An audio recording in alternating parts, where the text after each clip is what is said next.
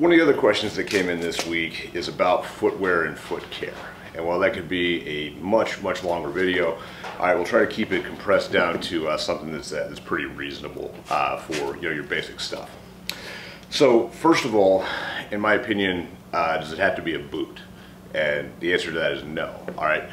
We used to actually wear the uh, Merrell version of this. These are Salomons. We used to wear the Merrell version of this. In fact, we called them TST shoes. We sold half of Baghdad like that. Uh, TST standing for uh, time sensitive target. And we had those shoes so that you could, uh, you know, take your shoes off and take a nap while you're waiting on a trigger for target to happen. Jump up, slap your shoes on, get in the truck and go. It also never occurred to me until I got ready to make this video that it's probably weird to get briefed up on you're going to go burn somebody down at his house and have a special pair of shoes so that you can take a nap so that somebody can just wake you up and you go burn this dude down in his house. But neither here nor there.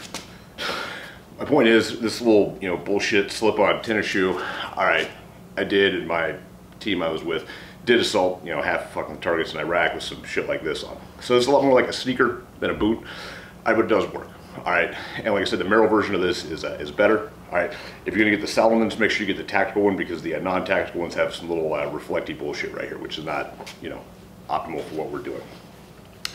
So these are uh, these are fine, all right, as long as you're not carrying too heavy of a load. All right, we'll get to that part here in a second.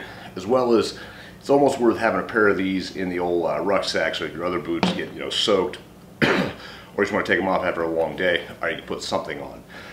this is another difficult thing for uh, people to understand that haven't been to like the uh, the fucking great jihad uh, overseas.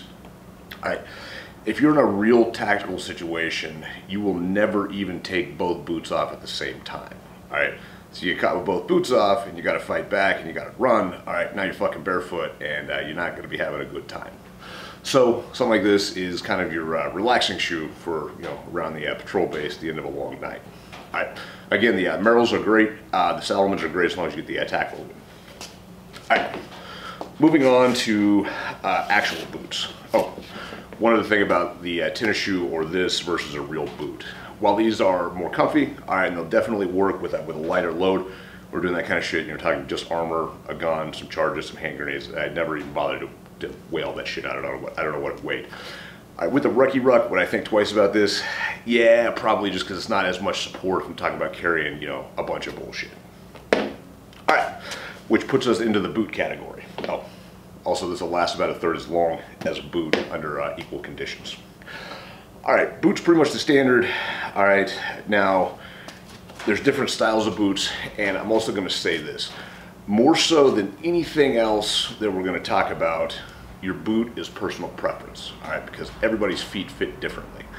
So one of the things you want to do, go through the painful process of find a boot that works for you. If you find a boot that works for you, buy two pairs at least, all right, of that exact same boot, same color, same fucking everything, all right, preferably within like, you know, a week of manufacture so that it's all exactly the same. Uh, brands that have worked for me, I like Scarpas really well. Uh, this has been a fantastic boot. They fit my feet really well. Uh, they are pricey, but they are pretty awesome. All right. The thing about the Scarpas, they have a very stiff sole, uh, which I definitely like when I'm carrying like heavier loads. You're talking about something uh, like a lighter duty boot, all right, so I'm not carrying as heavy of stuff, or I'm not like actually hiking up the side of a mountain. All right, Oboz has worked very well for me, but as you can see there, the sole is a lot more flexible. This is kind of actually between like a boot and a tennis shoe, all right, but it does work very well in a lot of applications. All right. The only thing that I actually generally discourage is a work boot style boot.